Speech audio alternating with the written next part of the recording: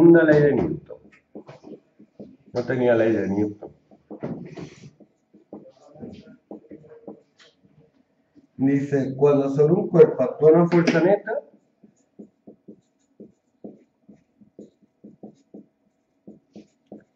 o sea que la resultante de la fuerza no es cero,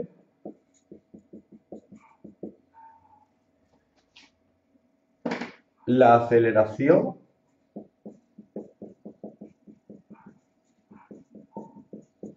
adquiere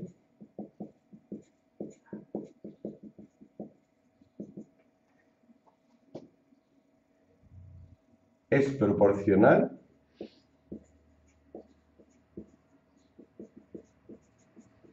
a la fuerza aplicada.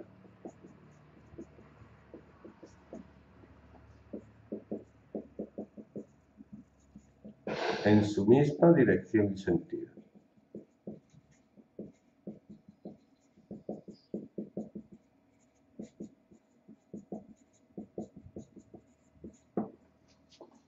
Esta fórmula. La fuerza es igual a la masa por la aceleración. Esta fórmula nos permite calcular la masa de un cuerpo. Yo tengo haciendo la constante de proporcionalidad la masa del cuerpo. Ajá. Lo que te iba a decir, que si tú despejas la masa de aquí, te queda la fuerza entre la aceleración.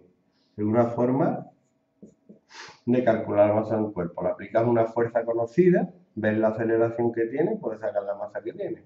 Para calcular la masa nuestra, lo que hacemos es saber la fuerza con que tira la Tierra de nosotros hacia abajo y la dividimos entre la aceleración de la gravedad, que es la que nos pega la Tierra.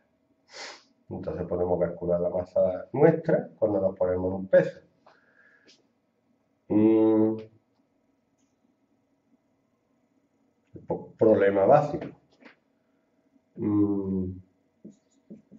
Si aplico una fuerza de 20 newtons a una masa de 2 kilogramos,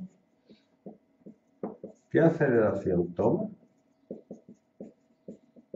Pues la aceleración, despejándola de aquí, es un vector, es la fuerza partido de la masa.